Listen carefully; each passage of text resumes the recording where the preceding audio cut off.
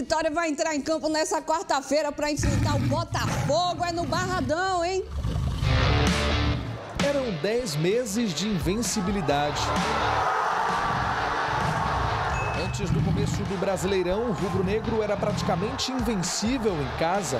Foram 23 jogos sem perder e dois títulos conquistados no período. Só que desde que a equipe perdeu para o Palmeiras na estreia do campeonato, não sabe mais o que é vencer em casa. O próximo duelo do Leão será contra o Botafogo, partida de volta da terceira fase da Copa do Brasil. O Leão tem uma missão difícil: reverter a derrota por 1 a 0 no Rio de Janeiro. E o apoio da torcida é indispensável para essa missão. O Vitória já mostrou sua força em casa e tem tudo para reconquistar o apoio do seu maior bem, o torcedor. Vamos começar a falar desse rubro-negro, né? Edmilson deu uma suspirada, né?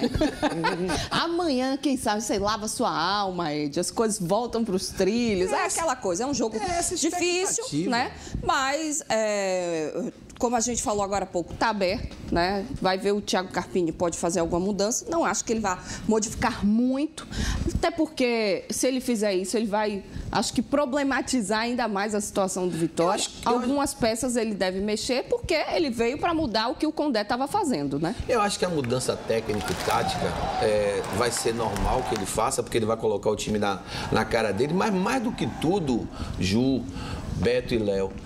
O Carpini vai ter um trabalho que eu, eu, comparo muito o que aconteceu com o Vitória em 2017, quando o Mancini veio e, e transformou realmente o Vitória. O Vitória é, era um time é, que não ganhava ninguém, estava apanhando dentro de casa e o Mancini mudou essa história. O Vitória conseguiu ganhar lá fora do Flamengo, ganhou do Corinthians pela primeira vez na história, ganhar um, um clube paulista lá em São Paulo na, na, no Campeonato Brasileiro. Então eu acho que esse trabalho, sim, já que o departamento de futebol do Vitória não faz esse trabalho, né, deixou deixou acontecer o que aconteceu, com briga de jogador, o escambau, né? É, acusações de lado a lado, você é da panelinha do, do, do Condé, eu sou da panelinha que estou chegando. Então, isso era para ser trabalho da gestão de futebol, do, do departamento de futebol, quando ele é organizado, todo lado de um cara aqui que na época dele no Bahia não tinha esse, esse tipo de confusão. Que ele e a equipe dele na época jogava duro, né? Chegava no jogador, tentava, tentava contornar a situação para manter o grupo né, focado, unido, né, para poder não acontecer coisas como aconteceram no Vitória.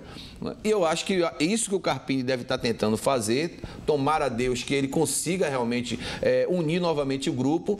Ele está vindo com a proposta tática do, do 4-2-2-2, né, usando o quê? Dois volantes, dois meias e dois atacantes. Eu acho que é uma boa, porque o Vitória precisa realmente é, é, manter a posse de bola nessa partida para conquistar pelo menos um gol que dá a tranquilidade de levar a partida para a disputa dos pênaltis.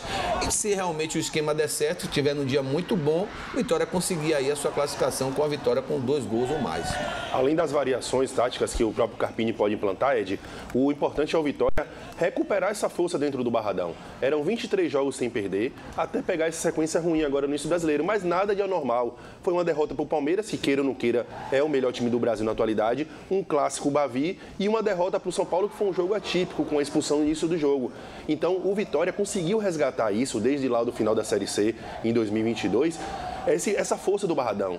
A torcida que não largou o time na Série C, na Série B, não vai ser agora que vai largar. Já são mais de 20 mil ingressos vendidos para amanhã. A gente espera casa cheia.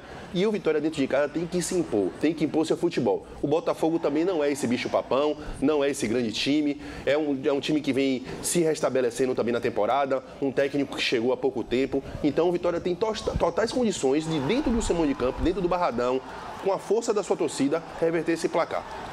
É, a tarefa do Carpini é uma tarefa árdua, não é fácil, né? Porque nós sabemos a situação que o Vitória se encontra, porém, ele ainda teve alguns dias né, para trabalhar, tendo a seu favor o tempo, mas eu acredito que ele deva fazer algumas modificações, mas não radicais.